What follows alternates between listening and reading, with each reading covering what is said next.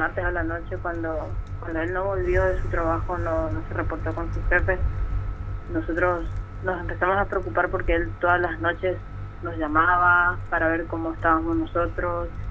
Todas las noches conversábamos por WhatsApp, nos contábamos cómo nos fue cada uno en el trabajo, eh, nos contábamos cosas, nos mandábamos fotos todo el tiempo y bueno, esa noche él no estaba en línea, se desconectó y pero por ahí pensamos que se quedó sin celular, estaba por ahí y bueno, no pensamos nada malo.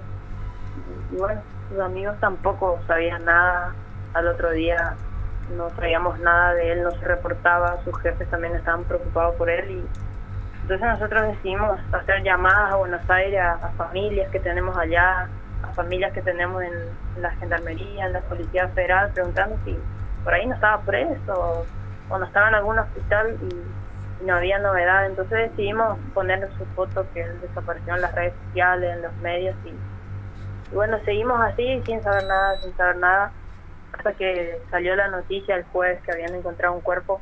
No sabíamos que era mi hermano, nosotros vimos esa noticia y, bueno, por ahí pensábamos que podría ser, pero pero no entendíamos por qué podría ser él, por qué le mataron. Entonces, el sábado a la mañana eh, llamó la policía a otro hermano mayor que tenemos en Buenos Aires para que vaya a reconocer un cuerpo que podría ser el de mi hermano. Y, sí, era el, cuerpo que había aparecido en Recoleta, era... Era el de Gustavo.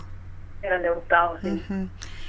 Eh, me, decís, me decías que tenés un hermano mayor que se está encargando de todas las cuestiones de los papeles en Buenos Aires, ¿es así?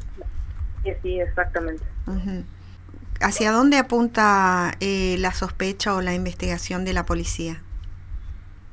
La verdad que nosotros no sabemos porque nosotros tenemos entendido que él trabajaba de delivery, fue a entregar un pedido, desapareció, terminó muerto. No sabemos por qué nadie de Buenos Aires se comunicó con nosotros, ni la policía, ni ningún funcionario. Nosotros nos enteramos a través de los medios y a través de, algún familiar que tenemos metido en las fuerzas federales, pero con nosotros no se comunicó nadie, no sabemos nada de la autopsia, nadie se comunica para saber por qué le mataron a mi hermano, cuáles son las hipótesis, nosotros estamos en la nada como familia. Ajá. O sea, es muy difícil entonces eh, estar lejos y tratar de que se haga de que se haga justicia, ¿no? Sí, nosotros por ahí, como, como tenemos un hermano mayor allá, él está haciendo todos esos papeles y él también se va a encargar de, de, por ahí que, que, la policía no deje así archivado la causa, sino que siga. Nosotros también acá vamos a estar empujando siempre sea como sea a través de las redes, llamadas, lo que sea, pero nosotros nosotros queremos justicia, eso es lo que pedimos, justicia y que podamos traer el cuerpo de mi hermano acá al Dorado.